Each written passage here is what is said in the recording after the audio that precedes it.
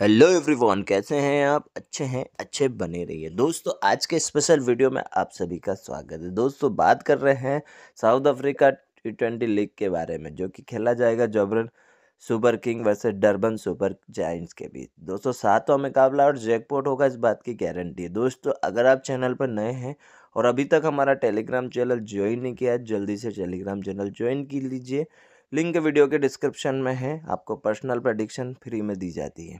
चलिए वीडियो को स्टार्ट करते हैं। दोस्तों, यह मुकाबला ज़बरदस्त होने वाला है, क्योंकि दोनों ही टीम काफ़ी खतरनाक और घातक टीम है। दोस्तों, दोनों के मैच अगर आप देखेंगे तो दोनों ही 200 प्लस का स्कोर खड़ा कर चुकी है। एक दो और एक 225 और काफ़ी बेहतरीन तरीके से दोनों ही टीमें ने डिफेंड किया और ये पिच जो हाई स्कोरिंग है।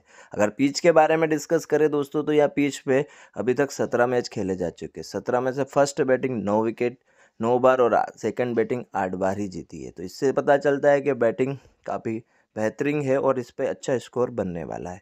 नज़र डालें कि यहाँ पर नौ बार फ़र्स्ट बैटिंग जीती है तो कितने रनों से जीती और कितनी बार से जीती है? थोड़ा सा ध्यान देने वाली चीज़ है कि आपका हाईएस्ट स्कोर कितना हो सकता है। हाईएस्ट स्कोर की बात करें तो 226 रन छः विकेट पर ऑस्ट्रेलियन बनाए, वो भी इंटरनेशनल मैच में लोवेस्ट स्कोर का सुनेंगे तो थोड़ा कन्फ्यूज़ होंगे कि ये कैसे पॉसिबल है।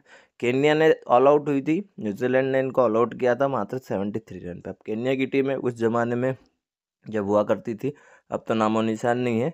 खैर चलिए, आगे दोस्तों, अभी तक अगर बात कर ले चेस की तो वन नाइन्टी वन सत्रह दशमलव पाँच ओवर में चेस हुए। अगर अच्छी टीम है तो ये कह सकते हैं कि दो सौ पाँच, दो सौ दस रन का स्कोर चेस हो सकता है। अभी तक यहाँ पर हाईएस्ट स्कोर बन रहा है लीग में, सबसे बड़ी बात है।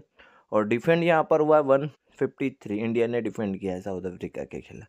तो बेहतर टीमें हैं दोनों ही, अगर इनकी स्कोर और चीज़ पर करें तो निकलेस पुरन काफ़ी घातक है और इस्टोमेस भी यहाँ पर बहुत है, अगर इस बात करें इसकी प्लेइंग यूनिट डरबन की तो डरबन की जो स्कॉट है दोस्तों, यहाँ पर महाराज कैप्टन है डिंकॉक और निकलियस पुरन और क्लासन, ये बहुत घातक है। वही बॉलिंग में अगर बात करें तो टॉपले क्लेन मैयर्स, ये भी बहुत अच्छे नवीन निकुला स्कॉट में नहीं है, हालाँकि।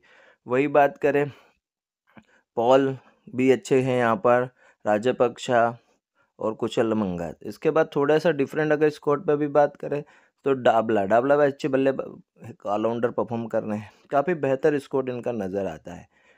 अगर बैटिंग, बॉलिंग में जगह तो बेस्ट टीम है यहाँ पर मेरी नज़र में। वही अगर जे की बात करें तो यहाँ पर दो सौ चौवालीस रन तक बना चुकी है। यानी कि इनकी बैटिंग काफ़ी घातक दिखाई देती है। अगर वही थोड़ा फब डब्ल्यू बेहतर कप्तान है और हेंड्रिक्सिस ये भी बहुत बेहतरीन ऑलराउंडर है हरमेन और लुस पोले।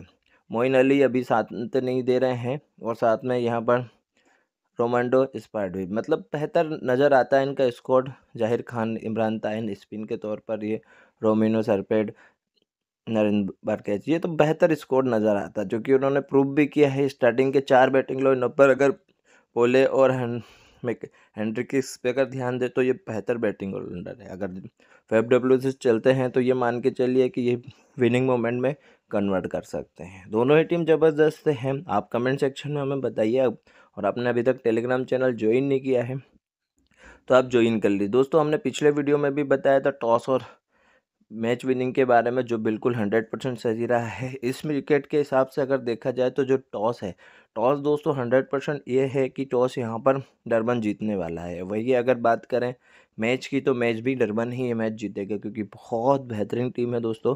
फिर भी अगर आप फ्री प्रडिक्शन चाहते हैं तो अभी तक हमारा टेलीग्राम चैनल ज्वाइन नहीं कर पाया है तो लिंक वीडियो के डिस्क्रिप्शन में आपको फ्री प्रडिक्शन मिलेगी और बिल्कुल श्योर मिलेगी, चाहे वो बिग बेस्ट लीग हो या कोई भी हो। चलिए मिलते हैं अगले वीडियो में। Thank you so much.